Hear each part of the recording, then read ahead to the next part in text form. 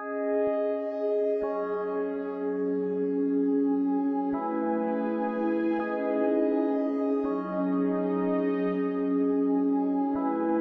zwölf Jahren ist man in Asien zu alt zum Teppichknüpfen, weil die Finger zu groß werden. Du darfst aber erst mit 14 bei Nike anfangen, Turnschuhe zu kleben. Da entsteht eine Versorgungslücke von zwei Jahren, die meistens durch Prostitution gestopft wird. Oh Herr, wir haben keine Ahnung von Sklavenhandel mit Kindern, Zerstörung ganzer Volkswirtschaften durch Börsenspekulationen und Umweltkatastrophen durch Ressourcenausbeutung. Herr, wir wissen nichts von Hermes-Bürgschaften für Staudämme und Turnschuhproduktionen in Südostasien.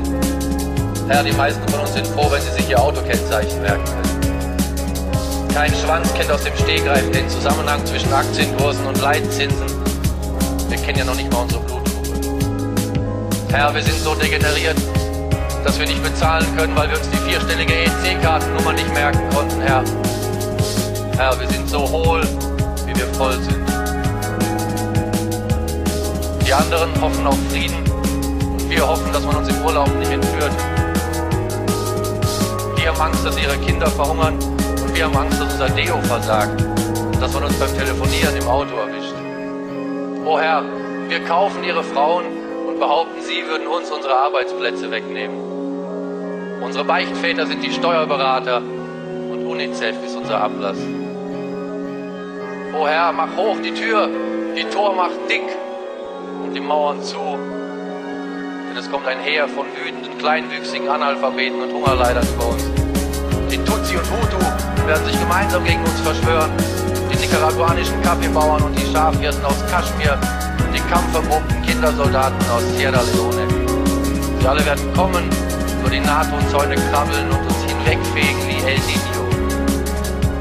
Sie werden uns mit Basmati-Reis bewerfen, mit Naturreis und mit Parfumreis, mit Milchreis, mit Langkornreis, mit Milchreis, mit Anglibens Beutelreis und mit Puffreis.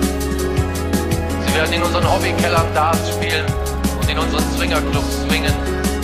Sie werden von unseren Tellerchen essen und mit unseren blonden Töchtern in unseren Ikea-Bettchen schlafen. Sie werden auf unseren Teakholzmöbeln gammeln, Cohibas rauchen, Darjeeling schlürfen und wer wird Millionär gucken. O Herr, Sie werden mit unseren Geländewagen im Stau stehen und über die Ökosteuer fluchen. Herr, wie kriegen wir in Ihren Drittweltschädel rein, Aufsichtsratsvorsitzender bist? Machen wir es uns gemütlich vor dem Herrn. Lass uns reden. Vater unser, der du bist im Himmel, gereinigt werde dein Name.